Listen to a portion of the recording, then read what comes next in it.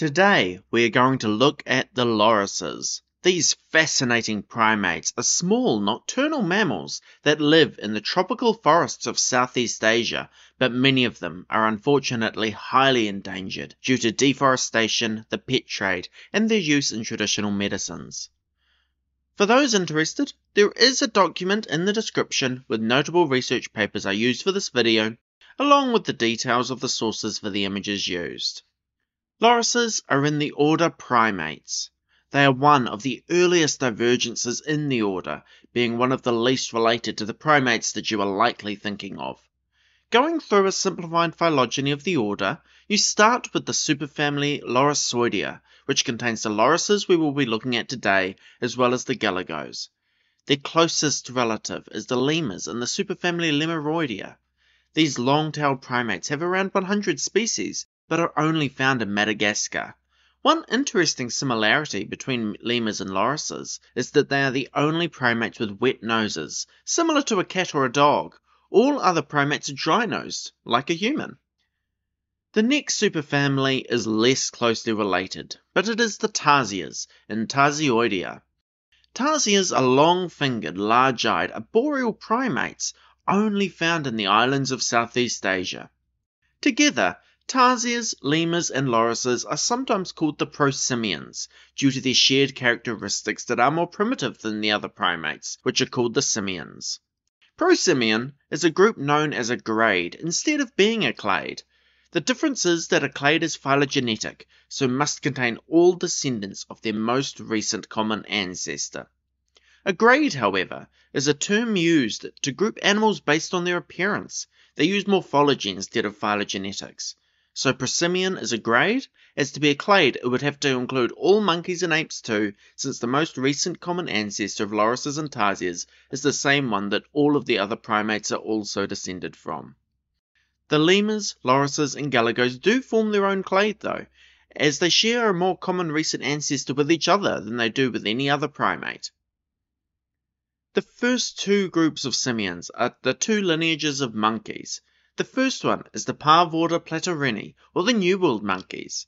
These are the monkeys found in the Americas, like spider monkeys, capuchins, owl monkeys, marmosets, and tamarins. The next clade is the Old World monkeys in the superfamily Cercopithecoidea. These are found in Africa and Asia, and include things like baboons, macaques, vervet monkeys, and mandrills. The next family is Hylobatidae, or the gibbons.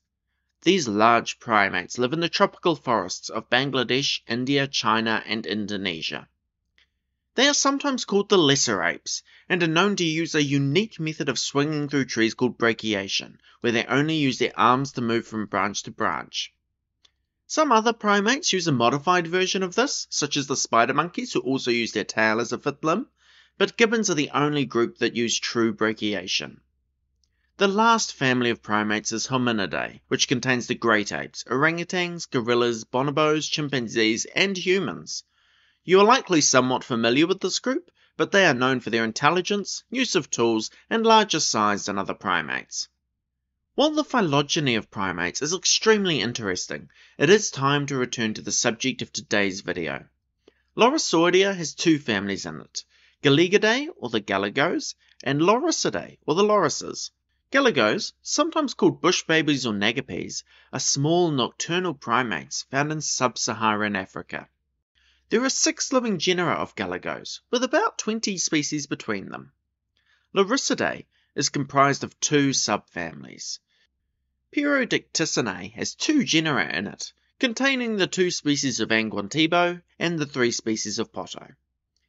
These are all found in Africa and are distinctive due to their vestigial tail and very short index finger, allowing them to grip onto branches more firmly. Their large eyes gives them stereoscopic vision, allowing them to judge distance. This is fairly common in arboreal animals, as it lets them judge the distance between branches when climbing. The other subfamily is Lorinae, sometimes called Lorisinae, which contains the lorises. Like the other closely related primates, they are arboreal and nocturnal, but unlike them, they are not African. Instead, they are found in India, Sri Lanka, and Southeast Asia. Another difference between lorises and galagos is that lorises do not jump, instead preferring to climb between different branches. One easily noticed feature to distinguish them from other primates is the dark fur around their large eyes that sharply contrasts with the lighter colours of the rest of their face. While they are mostly insectivorous, some species will supplement this diet with birds' eggs, small invertebrates, fruits, gums, leaves, and slugs. It used to be believed that all lorises move very slowly, with a very methodical method of climbing. While this does appear to be true for some species, more recently others have been observed moving much more quickly than was previously thought. However, all species will freeze when they spot a predator. This method of predator defense is only effective as they are concealed by the dense forests in which they live. There are three genera in Lorinae. The first is Loris, which contains the slender lorises. There are only two species of these, the grey slender loris and the red slender loris. As the name suggests, they are distinguished from the other lorises by having a more slender build with thin, elongated limbs. There are other subtle differences as well, such as their muzzle being more pointed and having larger eyes and ears. The taxonomy of slender lorises has been disputed for some time. In the early 20th century, the slender lorises were thought to have three, four, or even more separate species. Osman Hill in 1953 placed them firmly as a single species with six different subspecies. The research conducted on this group was all done on captive species, with only one paper published before the 1990s with research on wild lorises. The current understanding of two species was first published by Colin Groves in 1998. The existence of two species was later confirmed with genetic testing. One effect of this taxonomic confusion is that it means that little is known about either slender loris. This is because it is impossible in most cases to work out which species historical studies were researching. Since most of this research was done on captive individuals, it is also less reliable than studying their behavior in the wild. Many more studies were conducted in the 21st century, but compared to most primates, relatively little is still known about them. The grey slender loris, Loris lydekkerianus, is the more common of the slender lorises, but is still considered near threatened by the IUCN. It is found in India and Sri Lanka, in the tropical and subtropical forests in the area, with no apparent preference between the wet rainforests, dry forests, or the montane cloud forests. It used to be divided into four different subspecies, but in 2020, Nijman et al. used genetics to determine that there was not enough evidence to support the existence of these subspecies, so they are now all considered the same. I mention this mainly because the different subspecies are still commonly mentioned online, and the IUCN Red List even has separate pages for some of them, Following on from the research of Nijman et al., such distinctions are arbitrary and do not represent distinct populations of the grey slender loris. They are nocturnal and emerge from their roosts in tree cavities to forage at dusk. They are mostly solitary, as they forage alone, but will roost in family groups of up to seven. Insects are their preferred food, but they will supplement this with fruits, flowers, and small vertebrates like mice and geckos. Males have larger home ranges than the females, and are more aggressive with other males that are not in their sleeping area. Females rarely meet other lorises, so have little interaction with them outside of mothers and daughters that roost together. Interestingly, it is the males that tend to the infants during the day. They can communicate with a range of noises, scent marking, and can also use visual signaling up to 20 meters away. Lorises are promiscuous, with males competing to breed a single female. They have two breeding seasons in a year, usually April to June and then October to December. Despite this, females can only breed once in a year. Gestation lasts for five and a half months, and they frequently have two offspring at a time. This is a fairly slow breeding strategy for small primates, with grey slender lorises having the lowest reproductive rate for any primate that weighs less than 500 grams. I mentioned earlier that it is considered near threatened, this has been increased from the previous time it was assessed in 2008 when it was classified as least concern. This increased threat rating is due to the numerous threats it is facing in its native habitat, largely due to habitat loss from deforestation, as well as hunting by humans. Its total population is suspected to have declined between 20 to 25% over their last few generations. The other species of slender loris is Loris tardigradus, or the red slender loris, it is endemic to Sri Lanka, only being found in the southwestern part of the country. It is rarer than the other slender loris, being classified as endangered, with only around 2,000 to 2,250 individuals left in the wild. This is almost exclusively due to deforestation, as Sri Lanka has lost 97% of its forest cover. In 2003, it was thought that the population of red slender lorises has declined by 80% over the last 200 years. In addition to deforestation, they are also sometimes hunted or trapped for their supposed use in traditional medicines to cure various eye ailments. They are also sometimes caught for sale in the pet trade, but we will look at this more extensively with some of the other loris species. Red slender lorises have reddish brown fur on their back, from which they get their common name, while their underside is a smoky whitish grey. It is a tiny primate, getting to lengths of 18 to 25 centimeters or 7 to 10 inches, and it weighs 85 to 370 grams or 3 to 13 ounces. Its face has darker colors around the eyes, like all lorises, but also has a notable white stripe down the center of its face. Its movements differ from the gray slender loris, as it moves much more rapidly in trees. It also prefers lowland tropical rainforests, unlike the more general habitat of the gray slender loris. Red slender lorises are also much more social, and are in fact one of the most social of the nocturnal primates. It forms small social groups containing both sexes as well as young. During the day, they sleep in these groups on tree branches. They will also socialize, perform mutual grooming, and play wrestle. At night, they still hunt individually. Red slender lorises are mostly insectivorous, but will also eat eggs, berries, leaves, buds, and occasionally small vertebrates like geckos and other lizards. They will consume their prey whole, including bones and scales, allowing them to maximize their intake of protein. Interestingly, the plant they eat most often is Humboldtia laurifolia, a species only found in Sri Lanka and the Indian state of Kerala. What is interesting about this is that this species is known to have a mutualistic relationship with ants, giving the lorises an easy source of both plant matter and insect prey. Females are dominant in red slender loris groups. Like with the grey slender loris, they can mate twice a year, they mate hanging upside down from branches and, in captivity, will not mate at all if no suitable branches available. Females give birth to one to two young, which feed from her for six to seven months. Now that we've covered both of the slender lorises, let us move on to the clade containing the remaining two genera. One thing that differentiates them from the slender lorises is that some species are proven to be venomous. These are one of the very few mammals with venom, alongside the platypus and some species of shrew. Given their turbulent taxonomic history, it is hard to tell which species are venomous and if any are not, but I could not find any record of venom in the slender lorises we have been looking at, so it does seem to be restricted to this clade. At least three of these species are confirmed venomous, but it is likely that the others are as well. Since venom has been shown in the pygmy slow loris, which is the most distantly related species of this clade, it strongly suggests that all of this group should have venom, unless it has been subsequently lost in some species. Slow loris venom strongly resembles the protein found in cat saliva that causes allergies in some humans.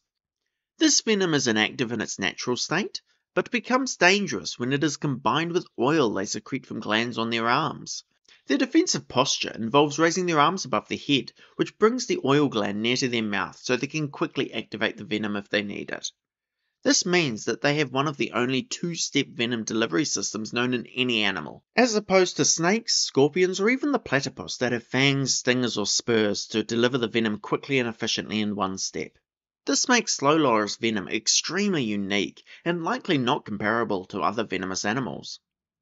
This venom is deadly to the small vertebrates they occasionally eat, but in humans and other larger mammals, the bite is intensely painful, takes a long time to heal, and leaves the victim with severe scarring and loss of fur. In extreme cases, it can cause an allergic reaction, leading to anaphylaxis and death. Slow lorises are also known for having a tooth structure known as a tooth comb. While the structure is believed to be useful for both feeding and grooming, it has been pointed out that it is also a highly effective venom delivery system. It has grooves in the comb that allow the venomous liquid to flow through it and out of their mouth. Despite being an effective defense, this venom seems to have evolved for use in disputes with other slow lorises and also against parasites. Several studies looking at slow loris venom have come up with a surprising reason for the evolution of venom. They appear to be mimicking snakes, or more specifically the spectacled cobra.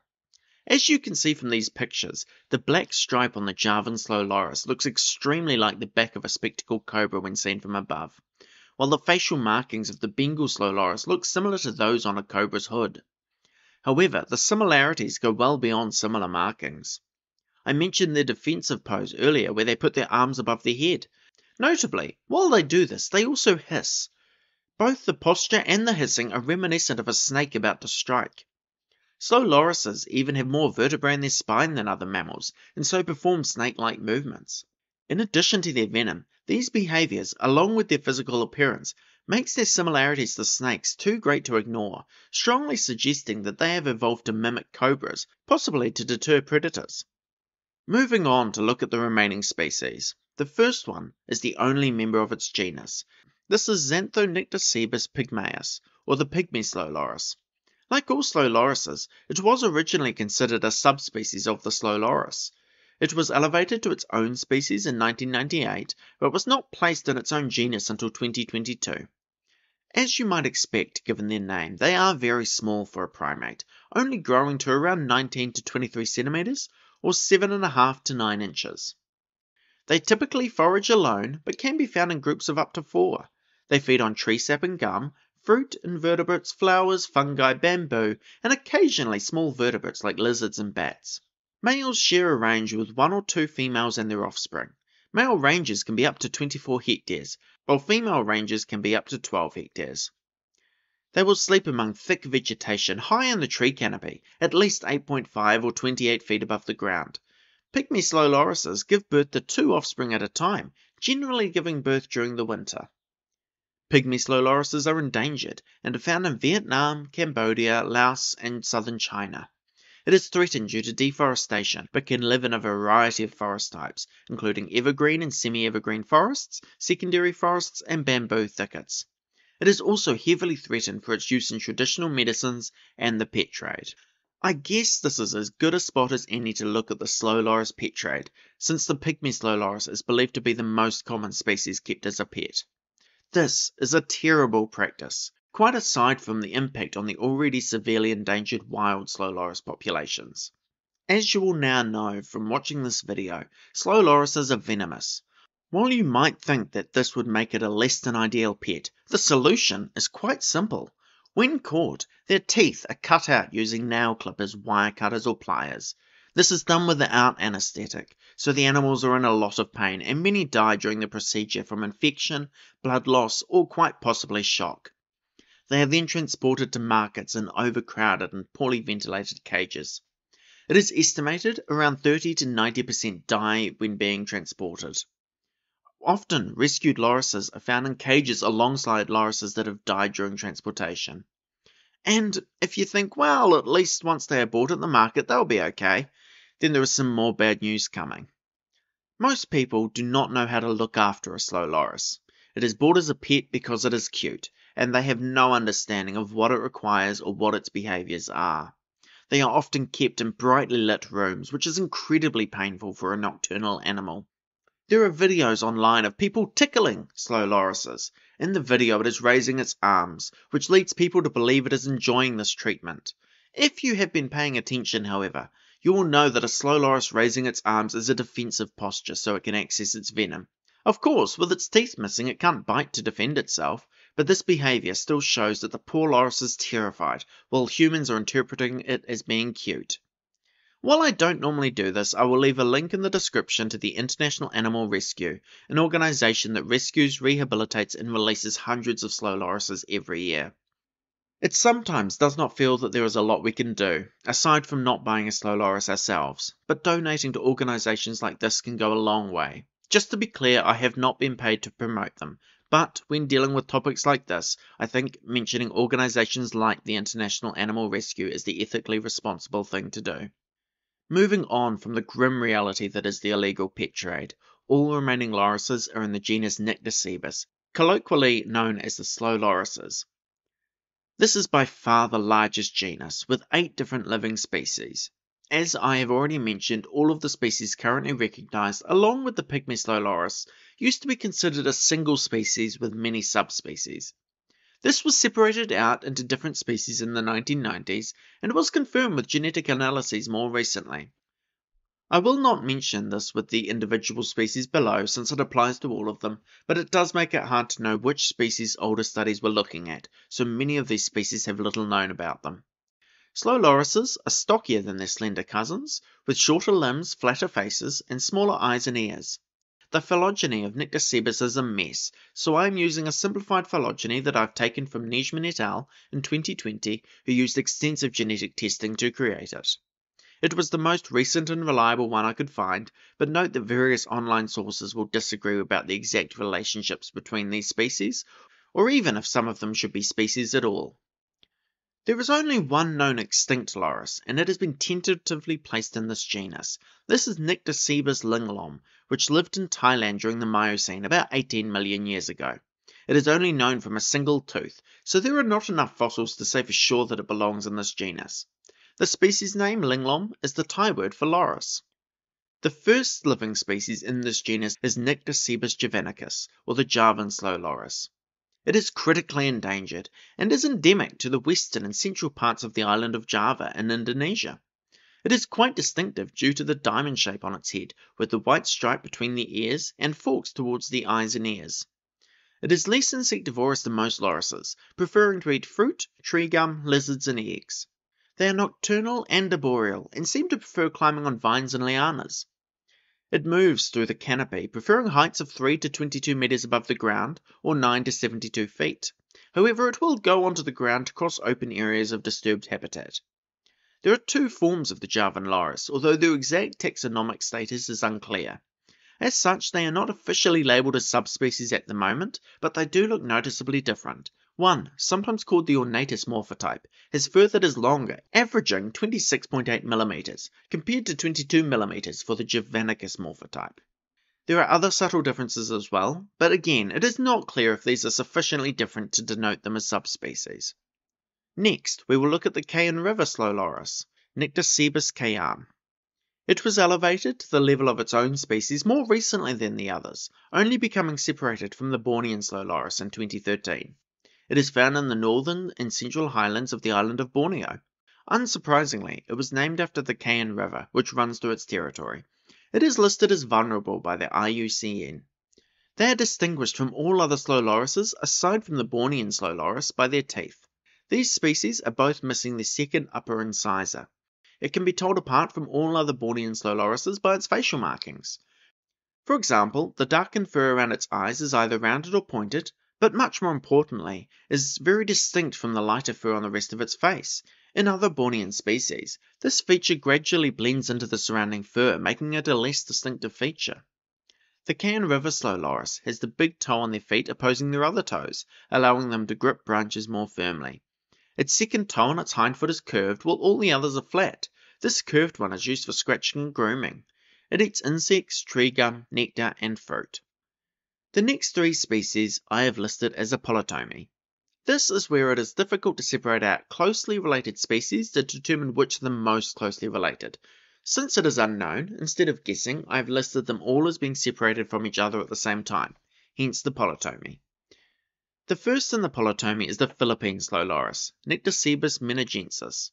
It is found throughout Borneo, but mostly along the northern and eastern coastlines, and some smaller surrounding islands.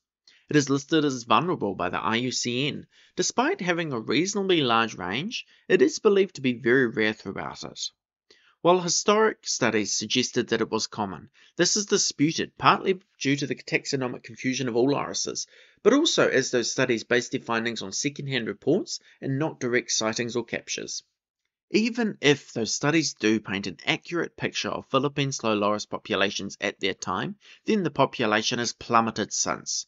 Studies in the 2000s found a very different reality, finding anywhere from 0.38 animals per kilometre to as low as 0.12 animals per kilometre, which are extremely low numbers. Taking the lowest estimate of 0.12 animals per kilometre, you would only be likely to find a single loris if you extensively searched 10 kilometres of forest. Philippine slow lorises seem to be tolerant to disturbed habitats. They are nocturnal and arboreal, and are social, often being found in groups feeding at the same tree. They eat insects, sap, and small vertebrates, only rarely eating fruit. One male generally breeds with multiple females, and their home range is around 9 hectares. Females give birth to one offspring each year and care for them for up to two years before they leave to find their own territory. Philippine slow lorises regularly sleep in dense foliage, but have many sleeping areas throughout their home range, so will only reuse each a few times. The Bangka slow loris, or Nycticebus bancanus, is endemic to Bangka Island, which is just offshore of Sumatra. It is rated as critically endangered by the IUCN, but this comes with the notable caveat that it was last seen in 1937, so is possibly extinct. More surveys are required to officially declare it extinct, but it is likely that if any remain, they are highly fragmented, and their population will have decreased by over 80% over the last three generations. This is due to the mass conversion of Bangka Island into palm oil plantations, causing a massive loss of habitable area for the species in their native range. Given that information about the species, it is probably not surprising to learn that little else is known about it. Like the other species of slow loris, it was originally considered the same species as all the others. Museum specimens and photographs were studied to differentiate it from the Philippine slow loris in 2013, raising it to the level of its own species. It is assumed to have similar traits to closely related species, such as a venomous bite or eating insect sap in lizards. The Bornean slow loris, or Nycticebus borneanus, is listed as vulnerable by the IUCN. It is endemic to southwestern Borneo. It is fairly tolerant of disturbed environments, but Borneo has lost a third of its forests in the last 25 years, so this cannot be helping them to increase their population. The other main threat is the pet trade, as we have already discussed. This is another species that has been poorly studied, with only one study estimating their population in 2011 as only 0.05 animals per hectare, which puts them in an even worse position than the Philippine slow loris was, and given their smaller range, this is not a great sign. I should mention that the study was before they were recognized as a different species to the Philippine slow loris, but it is assumed they were looking for the Bornean slow loris given the area they were searching. The only mention of this species that I could find in the literature after their elevation to their own species in 2013 was a study published in 2021. This study detailed a Bornean orangutan catching and eating a Bornean slow loris, and it was much more focused on the orangutan than it was on the loris. Even if I missed a couple of papers when searching, that is still not a great record that, of the top three papers about them, one is their discovery and one isn't even about them. Most of the other facts I could find on the internet about them were detailing the same things that seem to be true of all slow lorises, so I will move on to the next species, which is in the final clade of slow lorises. The Bengal slow loris, Nycticebus bengalensis, is also sometimes called the northern slow loris. It is the largest species of loris, reaching lengths of 26 to 38 centimeters or 10 to 15 inches, and weighing 1 to 2.1 kilograms or 2.2 to 4.6 pounds. It has a round face with large eyes and thick woolly fur. It has venom, but the chemical structure of this is quite different to those found in other lorises. It is hypothesized that this venom is used to communicate information to other Bengal slow lorises, such as their age, gender, and social status. The Bengal slow loris is an important seed disperser throughout its range, and is also an important prey item for several carnivores. It frequently engages in a behavior that all slow lorises do to some extent, but I have glossed over it so far as it is a minor part of their diet for most species. However, it is a key component of the Bengal slow loris's diet. This is feeding on tree exudates.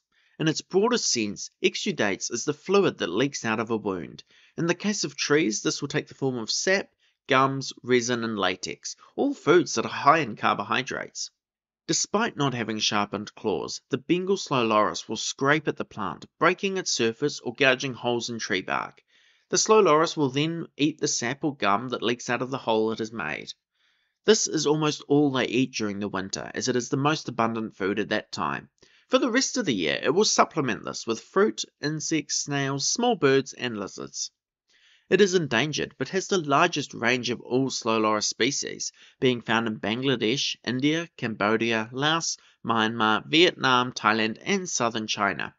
Its endangered rating is for the same reason as the other slow loris species habitat loss, the pet trade, and their use in traditional medicines. Along with the pygmy slow loris, they are one of the most common lorises found in markets. Bengal slow lorises are most frequently used in traditional medicines to help women after childbirth, but they are also sometimes used to treat stomach aches, broken bones, and sexually transmitted diseases. Because of these pressures, it is now extirpated in regions where it used to be common. Despite also occurring in protected areas throughout their range, this does not protect them from illegal logging and poaching, or from the increased fragmentation of their habitat.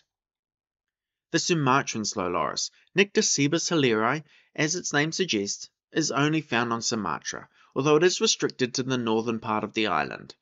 It is endangered, and for the reasons you are expecting. It is believed that there has been a 50% reduction in its population over the last three generations due to extensive deforestation on Sumatra and how common it is in the pet trade. It is hard to estimate their abundance in the wild, one survey in 2007 found a very low abundance of 0.39 per kilometre, but when locals were questioned, they revealed that there were many captured for the pet trade just before the survey was performed, explaining the low density observed. Few other surveys have attempted to measure their abundance.